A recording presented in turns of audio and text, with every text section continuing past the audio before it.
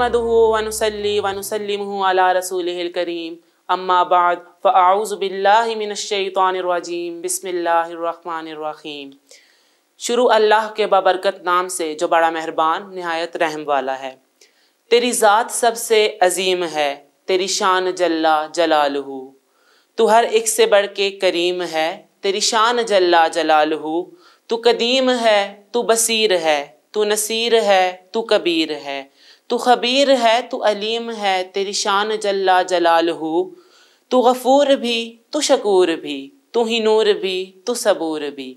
तू हफीज़ भी, तू अलीम भी, तेरी शान जल्ला जलालहू। जर न्यूज़ में आप सबको खुश आमदीद। मैं हूँ आपका मेज़बान हमाद अब्दुल्ला दी Arqam school elite park campus Chakwal की जानब से। तमाम देखने और सुनने वालों को मेरा सलाम अर्ज़ है। जैसा कि आप सब लोग जानते हैं कि रमज़ान अल मुबारक के बाबरकत महीने का आगाज़ हो चुका है। हम मुसलमानों के लिए ये महीना एक बहुत अल्लाह ताला की तरफ़ से बहुत बड़ा तोहफ़ा है। हदीस नबी सल्लल्लाहु अलैहि वसल्लम के मुताबिक जब रमज़ान दाखिल होता है तो जन्नत के दरवाज़े खोल दिए जाते हैं और जहन्नम के दरवाज़े बंद कर दिए जाते हैं और शयातीन को जकड़ दिया जाता है।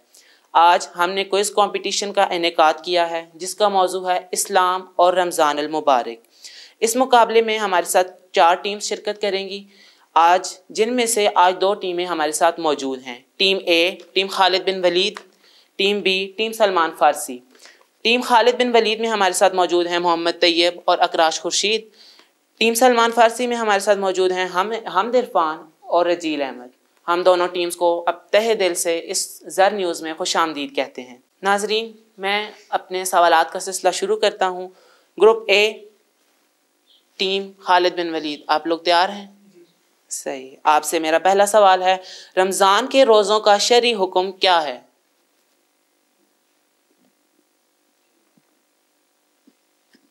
रमज़ान हर आकिल बाले मुसलमान मर्द और औरत पर फ़र्ज़ है। आपका जवाब दुरुस्त है। टीम बी आप लोग रेडी हैं? ठीक है आपसे मेरा पहला सवाल है रोज़ा फ़र्ज़ होने की क्या शराइ हैं?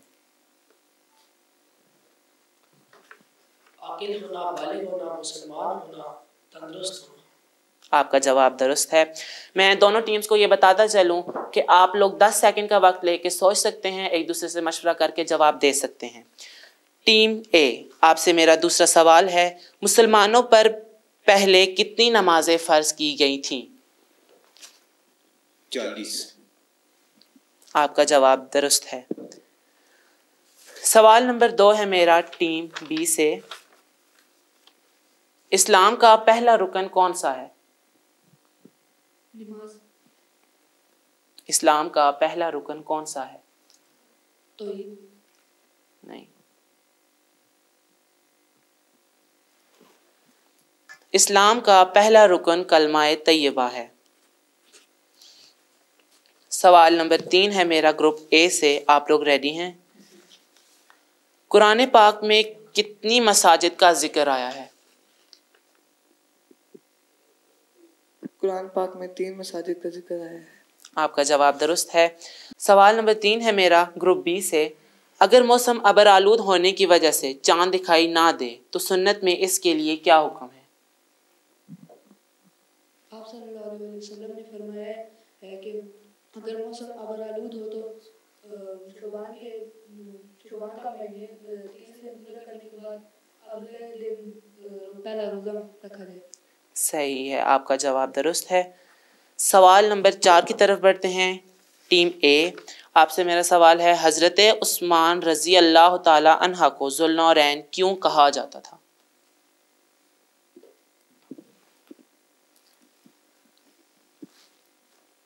हज़रत उस्मान रज़ी को जुल्नैन इसलिए कहा जाता था क्योंकि हज़रत मोहम्मद सल्लल्लाहु अलैहि वसल्लम की दो बेटियों की शादी उनके साथ हुई थी, इसलिए आपको जुल्नैन कहा जाता है आपका जवाब बिल्कुल दुरुस्त है। सवाल नंबर चार है मेरा ग्रुप बी से क्या सहरी खाना रोज़े की शराइ में से है? माइक में जवाब। सहरी खाना रोज़े की शराइत में से नहीं बल्कि सहरी खाना सुन्नत है सही है और अगर सहरी ना की जाए तो? सहरी ना की जाए रोजा तो कबूल हो जाता मगर इंसान सहरी के सवाब से महरूम हो जाता है। शाबाश आपका जवाब दुरुस्त है। सवाल नंबर पाँच की तरफ़ बढ़ते हैं। Group A team Khalid bin Walid सवाल नंबर पाँच है मेरा आपसे। हज़रत आदम सलाम को किस दिन तख्लीक किया गया? को जुमे के दिन तख्लीक किया गया। आपका जवाब दुरुस्त है। सवाल नंबर पाँच टीम बी से टीम सलमान फारसी से रोज़ा इस्लाम का कौन सा रुकन है? रोज़ा इस्लाम का तीसरा रुकन है। आपका जवाब दुरुस्त है। नाजरीन जैसा कि आप लोग देख सकते हैं कि दोनों टीम्स माशाल्लाह से बहुत अच्छी चल रही हैं। और आपको मैं साथ साथ रमज़ान मुबारक के जो है वो फ़ज़ाइल भी बताता चलूँ। वैसे तो फ़ज़ाइल अनगिनत हैं, लेकिन उनमें से चाँद में आज आपके सामने पेश करूँगा। जब रमज़ान दाखिल होता है तो जन्नत के दरवाज़े खोल दिए जाते हैं, जैसा कि मैंने आपके सामने एक हदीस पेश की। आगे बढ़ते हैं। रमज़ान मुबारक वो इस्लामी महीना है, जिसमें मुसलमान पूरा महीना रोज़े रखते हैं। रोज़ा एक फ़र्ज़ इबादत है, जिसके बारे में इरशाद रुबानी है कि रोज़ा मेरे लिए है और मैं ही इसका अजर दूँगा। मुसलमान अल्लाह ताला की रज़ा और खुशनुदी हासिल करने के लिए रोज़ा रखते हैं। रोज़ादार को दो खुशियाँ नसीब होती हैं। पहली, तब जब वो रोज़ा इफ्तार करता है और दूसरी, तब जब वो रब से मुलाकात के लिए जाएगा। नाजरीन, मैं आपको ये बात भी बताता चलूँ कि हमारे माशरे में कुछ चीज़ें ऐसी होती हैं कि हमारे उस पर इख्तलाफात पैदा हो जाते हैं, चाहे दो भाई हों या कोई भी रिश्ता हो, दो इख्तलाफात दो लोगों के दरमियान पैदा हो जाते हैं, जिसकी वजह से नाराज़गी पैदा होती है। और हमारे माशरे में ये है कि हमारे अंदर एक अना और ज़िद आ जाती है कि हमने उससे बात नहीं करनी, क्योंकि गलती उसकी थी। तो नबी करीम सल्लल्लाहु अलैहि वसल्लम का फरमान है कि अगर तुम्हें माफ़ी मांगने से तुम्हारी इज़्ज़त कम हो जाए तो क़यामत वाले दिन मुझसे ले लेना। मेरा ये आप सबसे, आप सबको ये पैगाम है कि हमें माफ़ी मांगने में पहल करनी चाहिए। चाहे आपकी गलती ना भी हो, लेकिन इंसान को हर किसी के साथ, अच्छे सलूक के साथ, इत्तफाक और इत्तेहाद के साथ रहना चाहिए। हमारा माशरा इसी तरह तरक्की करेगा। अपने सवालात की तरफ़ मैं आगे बढ़ने से पहले दोनों टीम्स को रेडी करना चाहूँगा। आप लोग तैयार हैं? सही। टीम खालिद बिन वलीद सवाल नंबर छः है मेरा आपसे। सूरह रहमान किस पारे में है?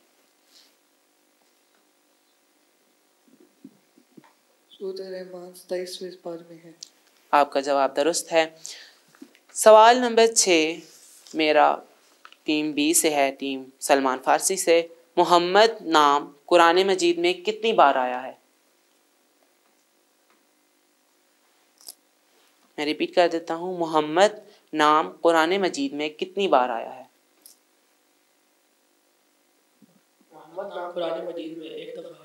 आपका जवाब दुरुस्त है। यहाँ पे बहुत ही खूबसूरत मुझे शेर याद आ गया कि है अरशों पे अहमद ज़मी पे मोहम्मद। है अरशों पे अहमद ज़मी पे मोहम्मद। ज़मीनों ज़मा पे ये नाम आखिरी है सुबहान अल्लाह हमारे आका हज़रत मोहम्मद सल्लल्लाहु अलैहि वसल्लम ख़ातब नबीजीन, की जहाँ भी बात हो, हमारे लिए फ़र्ज़ है और हमें ये ज़रूरी समझना चाहिए कि जब भी नाम लिया जाए तो हम उस नाम के साथ, जो साथ बैठे हों, जो सुन रहे हों, वो सल्लल्लाहु अलैहि वसल्लम लाजमी कहें। सवाल नंबर सात, मेरा टीम ए से है, टीम खालिद बिन वलीद से, नीयत का क्या तरीका है? नियत दिल के पुख्ता इरादे को कहते हैं अगर आपने पुख्ता इरादा किया है कि मैं रोज़ा रखूँगा तो ये नियत है। और अगर आपने नियत को बसूरत अल्फाज अदा किया तो ये सुनत है और बायस सवाब है। शाबाश आपका जवाब बिल्कुल दुरुस्त है। सवाल नंबर सात टीम बी की जाने बढ़ते हैं। बालिग को रोज़ा रखवाना चाहिए। जब बच्चा सात साल का हो जाए तो उसको रोज़ा रखने की तलकीन की जाए और जब दस बरस का हो जाए तो उस पर सख्ती करना लाजिम है। शाबाश आपका जवाब दुरुस्त है। सवाल नंबर आठ है मेरा टीम ए से टीम खालिद बिन वलीद। इस्लाम में पहली मस्जिद कौन सी तामीर हुई?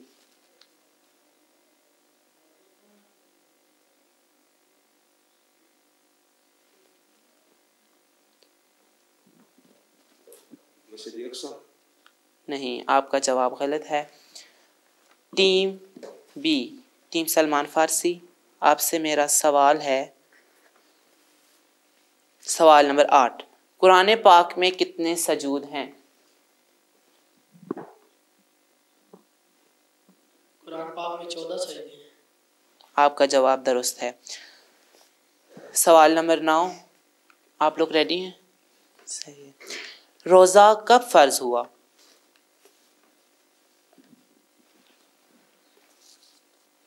रोज़ा ऐलान नबूत के पंद्रह साल यानी दस शवाल दो हिज्री को फ़र्ज़ हुआ। आपका जवाब बिल्कुल दुरुस्त है। सवाल नंबर नौ मेरा टीम बी से है। रोज़े के तीन दर्जे कौन से हैं?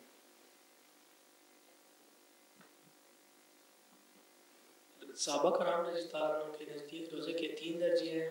आवाम का रोज़ा ख़वास का रोज़ा अक्सर आपका जवाब दुरुस्त है। नाजरीन, आपको बताते चलें कि सूफिया कराम के नज़दीक रोज़े के तीन दर्जे हैं।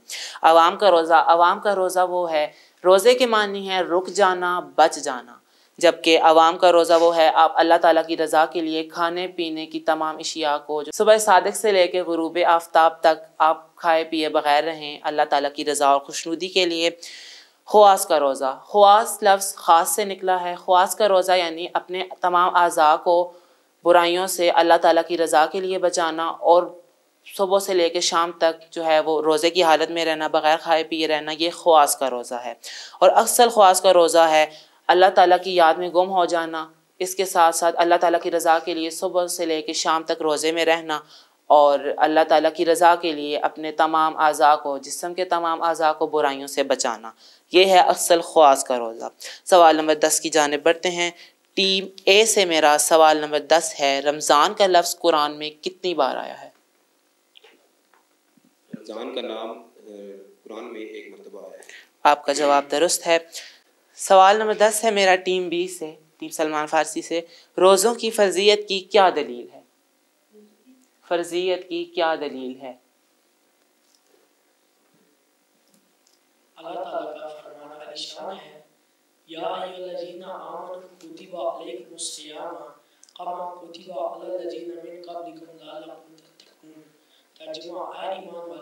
तुम पर रोज़े फ़र्ज़ किए, जैसे अल्लाह पर फ़र्ज़ किए, ताकि तुम्हें परहेज़गारी मिले। आपका जवाब दुरुस्त है, आपकी सिर्फ़ एक आयत में गलती थी, मैं वो दोबारा आयत पढ़ देता हूँ, ताकि आपकी गलती दुरुस्त हो जाए। या अय्युहल्लज़ीना आमनु कुतिबा अलैकुमुस्सियाम कमा कुतिबा अलल्लज़ीना मिन क़ब्लिकुम लअल्लकुम तत्तकून। सवाल नंबर ग्यारह से पढ़ने से पहले मैं आपको मज़ीद फजीलत बताना चाहता हूँ। नाजरीन, रमज़ान लफ्ज़ रा, मीम, जुआ से बना है, जिसके मानी जलने और मिटाने के हैं। इस महीने को रमज़ान इसलिए कहा जाता है क्योंकि ये मोमिन के गुनाहों को जलाकर राख कर देता है। इसी तरह, जैसे आग किसी लकड़ी को जलाकर राख कर देती है। एक मरतबा हज़रत मूसा अलैहिस्सलाम ने अल्लाह से पूछा कि या अल्लाह, जितना मैं आपके करीब हूँ, आपसे बात कर सकता हूँ, इतना कोई और करीब है? तो अल्लाह ताला ने फरमाया, ए मूसा, आखिरी वक्त में एक उम्मत होगी, जो हज़रत मोहम्मद सल्लल्लाहु अलैहि वसल्लम की होगी, और इस आखिरी उम्मत को एक महीना ऐसा मिलेगा, जिसमें वो मेरी रज़ा के लिए रोज़ा रखेंगे, और वो खुश्क होंठ, प्यासी ज़ुबान, सूखी आँखें भूखे पेट इफ्तार करने जब बैठेंगे, तब मैं उनके बहुत करीब हूँगा मूसा, तुम्हारे और मेरे दरमियान सत्तर पर्दों का फासला है, लेकिन इफ्तार के वक्त उस उम्मत और मेरे दरमियान एक पर्दे का भी फासला नहीं होगा। और जो दुआ वो मांगेंगे, उसे कबूल करना मेरी ज़िम्मेदारी होगी। अगर मेरे बंदे को मालूम होता कि रमज़ान क्या है तो सब तमन्ना करते कि काश पूरा साल ही रमज़ान हो। नाजरीन आप इस बात से अंदाज़ा लगा सकते हैं रमज़ान की फजीलत कितनी ज़्यादा है। अल्लाह ताला हम सबको मुकम्मल रोज़े रखने, अल्लाह ताला की इबादत करने और आपस में इतफ़ाक़ और इतिहाद से रहने की तोफ़ी अता फ़रमाए। समीन करामी, हज़रत अबू हुरैरा रज़ी अल्लाह तहा से रिवायत है कि रसूल अल्लाह सल्लल्लाहु अलैहि वसल्लम ने फरमाया, जिसने सवाब की नीयत से रमज़ान के रोज़े रखे और इसकी रातों में क़याम किया उसके गुज्त गुनाह माफ़ कर दिए जाएँगे। वैसे ही अल्लाह ताला बहुत गफूर रहीम है। आप अल्लाह ताला से जब भी माफ़ी मांगे, अल्लाह ताला माफ़ कर देता है। लेकिन रमज़ान मुबारक, आप ये समझ लें कि हमारे लिए एक गोल्डन चांस होता है, जिसमें हम अल्लाह ताला से अपने गुनाहों की माफ़ी मांग सकते हैं, जो हमसे नाराज़ हैं, हम उनको राज़ी कर सकते हैं। तो हमें चाहिए कि हम ज़्यादा से ज़्यादा रमज़ान मुबारक में इबादत करें, अल्लाह ताला की खुशनुदी और अल्लाह ताला की रज़ा से करने के लिए रोज़े रखें, इसके साथ साथ गरीबों का एहसास करें। अगर हमारे पास इफ़ार में बहुत कुछ है तो हमें चाहिए कि हम थोड़ा सा हिस्सा निकाल कर अपने अड़ोस पड़ोस में देखें कि अगर कोई गरीब है और उसके पास इतना इफ़ार के लिए नहीं है तो हमें चाहिए कि हम उसकी मदद करें। और दूसरी बात यह है कि हम में आजकल ट्रेंडिंग में है ये सब कि हमने जो है वो जो चीज़ बनाई है वो लाइक सोशल मीडिया पे शेयर करनी है स्टेटसेस वगैरह लगाने हैं। तो नाजरीन, आपको ये बताते चलें कि ये चीज़ें शेयर करने से पहले आप लोग ये सोच लिया करें, इस तरफ़ ध्यान दिया करें कि कुछ लोग ऐसे भी हैं जिनके पास ये सब चीज़ें मुहैया नहीं होती। उनके पास सिवाय रोटी और सालन के इफ़ार के लिए कुछ मौजूद नहीं होता। हमें चाहिए कि हम ऐसे लोगों का एहसास करें। अल्लाह ताला ने आपको दिया है, आप बांटें। लेकिन इस तरह की स्टोरीज और स्टेटस लगाने से गुरेज करें ताकि जिसके पास नहीं है, वो एहसास कमतरी का शिकार ना हो। अल्लाह ताला हम सबको ऐसी बातों पर ध्यान देने की और इबादत करने की भी तोफ़ी अता फ़रमाए। आमीन। सवालात की तरफ़ बढ़ते हैं। मेरा सवाल नंबर ग्यारह है, टीम ए से आप लोग तैयार हैं? सही है। कुरान की पहली नाजिल होने वाली सूरत का नाम बताएँ। कुरान की पहली सूरत नाज़िल होने वाली सूरत अलग नाम आपका जवाब दुरुस्त है। सवाल नंबर ग्यारह है मेरा टीम बी से। दुनिया में कुल कितने पैगंबर आए?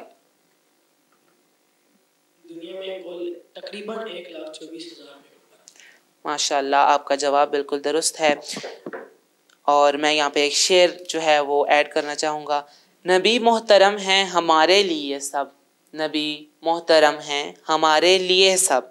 मगर मुस्तफ़ा का मकाम आखिरी है सुबहान अल्लाह चाहे जिस तरह ये सिलसिला शुरू हुआ कि हज़रत आदम आसमाम से पैगम्बरों का सिलसिला शुरू हुआ और हमारे प्यारे नबी आका दो जहाँ हज़रत मोहम्मद सल्ला वसल्लम पर ये जो है वो सिलसिला अख्ताम पजीर हुआ। तमाम अम्बिया कराम की सफ़ात, तमाम अम्बिया कराम को एक खूबी अल्लाह ताला ने दी। वैसे तो वो तमाम खूबियों के पैकर थे, तमाम अम्बिया कराम। लेकिन हमारे नबी हज़रत मोहम्मद अलैहि वसल्लम को ये खूबी हासिल है और ये एज़ाज़ हासिल है कि वो अल्लाह ताला के आखिरी नबी और आखिरी रसूल हैं। और हमारी उम्मत के लिए, हम सब के लिए, बायस मुसलमान, ये बहुत फ़ख्र की बात है कि हम इतने सारे मज़ाहब होने के बावजूद हमें अल्लाह ताला ने आका दो जहाँ हज़रत मोहम्मद सल्लल्लाहु अलैहि वसल्लम की उम्मत में हमें चुना, हमें उस उम्मत में, उस घराने में पैदा किया। सवाल नंबर बारह की तरफ़ बढ़ते हैं। ग्रुप ए से मेरा सवाल है, एतकाफ़ फ़र्ज़ इबादत है या सुन्नत है? एतकाफ सुन्नत है। आपका जवाब दुरुस्त है। सवाल नंबर बारह। मेरा टीम बी से है टीम सलमान फारसी से। कुरान पाक में वो कौन सी सूरत है जिसके शुरू में बिस्मिल्लाहिर्रहमानिर्रहीम नहीं पढ़ी जाती?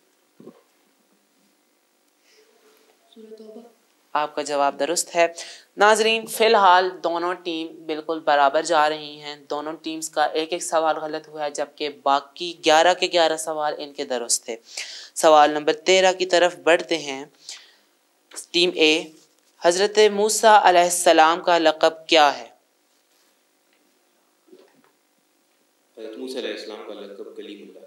आपका जवाब दुरुस्त है बिल्कुल। हज़रत मूसा अलैहिस्सलाम का लक़ब करीमुल्ला हज़रत ईसा अलैहिस्सलाम का लक़ब रूहुल्ला है। सवाल नंबर तेरह है मेरा, ग्रुप बी से, हज़रत इसराफील की क्या ज़िम्मेदारी है?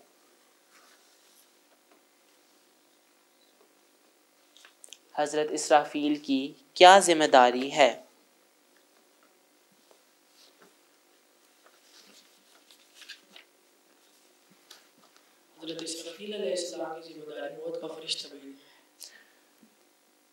टीम बी का ये सवाल गलत है। हज़रत इसराफील अलैहिस्सलाम की ज़िम्मेदारी ये है कि हज़रत इसराफील क़यामत के दिन सूर फूकेंगे।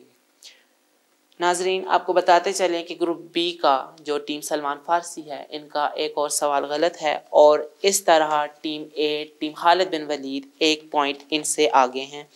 मज़ीद सवाल की तरफ़ बढ़ने से पहले मैं यहाँ पे ये अर्ज़ करना चाहूँगा कि नबी अकरम सल्लल्लाहु अलैहि वसल्लम ने उम्र के बारे में फ़रमाया, जिसने रमज़ान के महीने में उम्र किया, उसने गोया मेरे साथ हज किया। नाजरीन, वैसे उम्र और हज करने की सादत किसी किसी को नसीब होती है।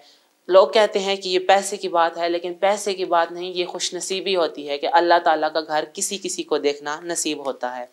नाजरीन, जिस तरह ये अल्लाह ताला का घर किसी किसी को देखना नसीब होता है। इसी तरह ये खुश नसीबी है कि रमज़ान मुबारक के बाबरकत महीने में किसी को उम्र नसीब हो।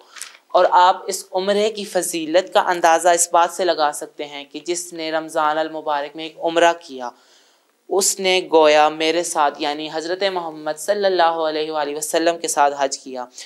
इससे बड़ी सादत क्या हो सकती है कि इंसान रमज़ान मुबारक के बाबरकत महीने में जब हर तरफ़ रहमतें बरस रही हों, उस महीने में अल्लाह ताला के घर की हाज़री नसीब हो, हज़रत मोहम्मद सल्लल्लाहु अलैहि वसल्लम के घर की हाज़री नसीब हो, चाहे वो उम्र की गर्ज से ही जाए, लेकिन उसको सवाब हज़रत मोहम्मद सल्लल्लाहु अलैहि वसल्लम के साथ हज करने का हो तो मुझे नहीं लगता कि ये किसी, इससे बड़ी कोई खुशनसीबी किसी मुसलमान के लिए हो सकती है। सहाबा कराम की अगर बात की जाए तो वो भी इस बाबरकत महीने में हर नेकी के काम में ख़ास तौर पर सदका व खैरात में बढ़ चढ़ कर हिस्सा लिया करते थे। हज़रत उस्मान गनी रज़ी अल्लाह तहा और हज़रत उमर फ़ारूक रज़ी अल्लाह तहा सबसे ज़्यादा सदका व खैरात दिया करते थे। नाजरीन, सहाबा कराम के सदका खैरात का ये आलम था कि रमज़ान के महीने में मदीना में कोई ज़क़़त और खैरात लेने वाला ना होता था। सुबहान अल्लाह हमारे सहाबा कराम इतनी सदका खैरात देते थे कि मदीने में कोई ऐसा शख्स ही ना होता था कि जिसको वो सदका खैरात दी जाए। सुबहान अल्लाह हमें भी चाहिए कि हम सदका खैरात ज़्यादा से ज़्यादा दें, गरीबों की इमदाद करें सबसे ज़्यादा ज़रूरी ये है कि हम उन सफ़ेद पोश लोगों की जो है इमदाद करें, जो मांगने से गुरेज करते हैं, जो उनके पास जितना होता है वो उससे गुजारा करते हैं। हमें ऐसे लोगों को ढूंढना चाहिए और ऐसे लोगों की मदद करनी चाहिए। सवाल नंबर चौदह की जानब बढ़ते हैं।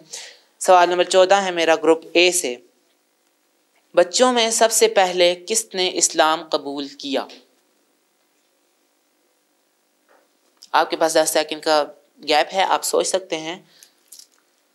बच्चों में सबसे पहले हज़रत अली रज़ी ने इस्लाम कबूल किया। माशाल्लाह आपका जवाब बिल्कुल दुरुस्त है। सवाल नंबर चौदह है मेरा ग्रुप बी से। आप लोग रेडी हैं? सही। प्यारे नबी हज़रत मोहम्मद सल्लल्लाहु अलैहि वसल्लम का सबसे बड़ा मुआजा क्या है?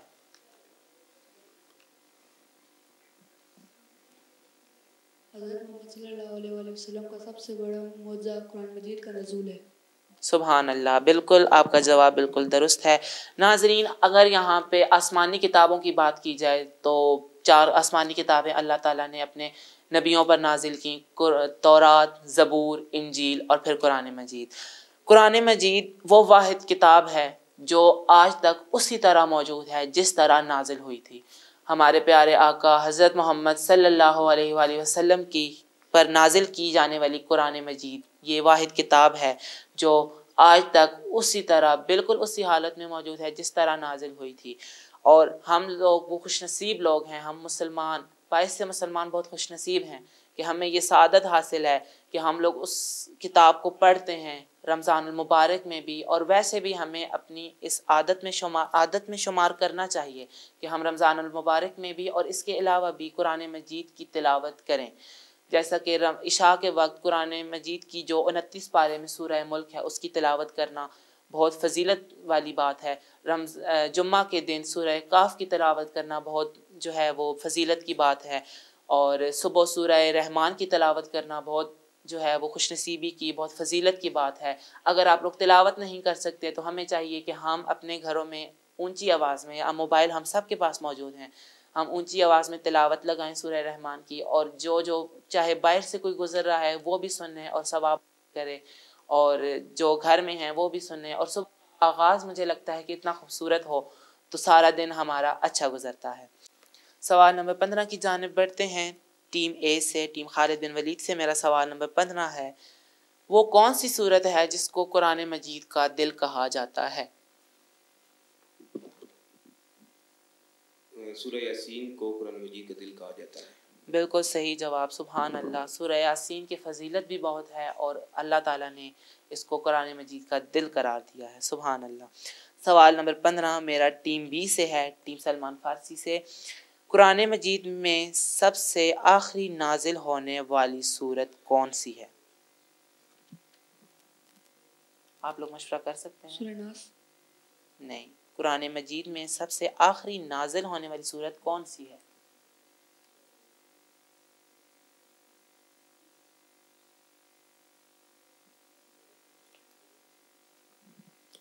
सूर्य बकरा। नहीं। मैं टीम ए से पूछना चाहूँगा क्या आप इस सवाल का जवाब देना चाहेंगे? कुरान मजीद में सबसे आखिरी नाजिल होने वाली सूरत कौन सी है? आपके पास दस सेकंड का टाइम है।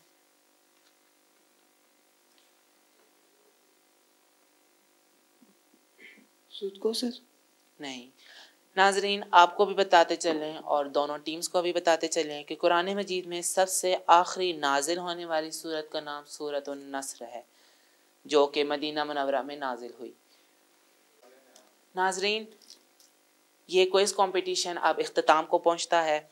मैंने दोनों टीम्स का जो है वो रिज़ल्ट बना लिया है। मैं यहाँ पे एक ये बात ऐड करना चाहूँगा कि दी अरकम के बच्चे, अब दी अरकम स्कूल की अगर बात की जाए तो वो दुनिया और दीन को दोनों को साथ बैलेंस करके जा रहा है and it's a big deal right और मैं ये रिज़ल्ट अनाउंस करने से पहले ये भी अनाउंस करना चाहूँगा कि इन दोनों टीम्स ने बहुत अच्छा पार्टिसिपेट किया। जैसे इनका फ़र्स्ट टाइम था, इन्होंने बहुत अच्छा पार्टिसिपेट किया। आई अप्रिशिएट दैम और रिज़ल्ट ये है कि team A team Khalid bin Walid का एक क्वेश्चन गलत हुआ और फोर्टीन ठीक हुए थे इनके। और जबकि मैंने जो टीम बी है टीम सलमान फारसी, इनके दो क्वेश्चन गलत हुए हैं और तेरह ठीक हुए हैं। इनके जो दो क्वेश्चंस गलत हुए थे, उनमें से एक मैंने इजाफी टीम ए से किया था। वो इनका जवाब नहीं दे सके, लेकिन वो इजाफी सवाल था तो वो उससे उस सवाल को कंसिडर नहीं किया जाएगा। तो इस लिहाज से टीम खालिद बिन वलीद हमारी आज की विनर है कॉन्ग्रेचुलेशन और अल्लाह ता, आप लोगों के लिए मेरा ये पैगाम है कि आप लोग मज़ीद मेहनत करें। इन नेक्स्ट टाइम आप ज़रूर विन करेंगे। नाजरीन, रमज़ान मुबारक तमाम महीनों का सरदार है और ये बहुत बाबरकत महीना है। और आज का जो है शो अख्ताम पजीर होता है और मुझे हमाद अब्दुल्ला को, आपके मेज़बान को दीजिए इजाज़त। अल्लाह ताला से दुआ है कि रोज़े की फजीलतों में हमें भी हिस्सा इनात फरमाए और अल्लाह ताला इस मुबारक महीने में की जाने वाली सारी इबादत को कबूल फरमाए और हमें चाहिए कि हम सदका खैरात ज़्यादा से ज़्यादा करें ताकि जो जिन, जो गरीब या जो अपने घर में इफ़ार के लिए भी उनके पास नहीं है, ताकि उन्हें भी ये मुहैया हो सके। अपने मेज़बान हमाद अब्दुल्ला ज़मीर को दीजिए इजाज़त। इन ज़िंदगी रही तो आपसे फिर मुलाकात होगी। वसलाम